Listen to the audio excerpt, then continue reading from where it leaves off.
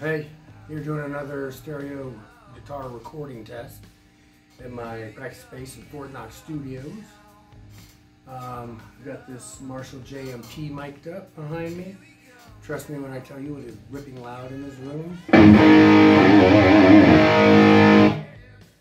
But when you actually, when the song starts, you're actually going to hear the recorded audio through the mics, not the phone audio. I used to play backing tracks through my PA speakers, but the music would bleed into the cab mics and make the recordings muddy. So that's why I'm going to be wearing headphones. Uh, the song was originally reportedly quad tracked, meaning Randy played all four guitar parts, or each guitar part four times, and then pan them left and right to get a stereo image. I'm not that motivated, so I'm just going to try try double tracking. This first take will be panned left, second one will be panned right. Uh, the idea is it sounds good on headphones, um, you know, or a stereo, if I can play it correctly. Since it's a test, I'm just going to do two takes. Flub, if I flub, I flub. Uh, I'm only going to record it on my cell phone.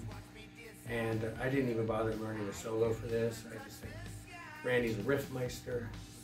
The main song would sound good double track. So anyway, enough jibber jabber. Let's see what we can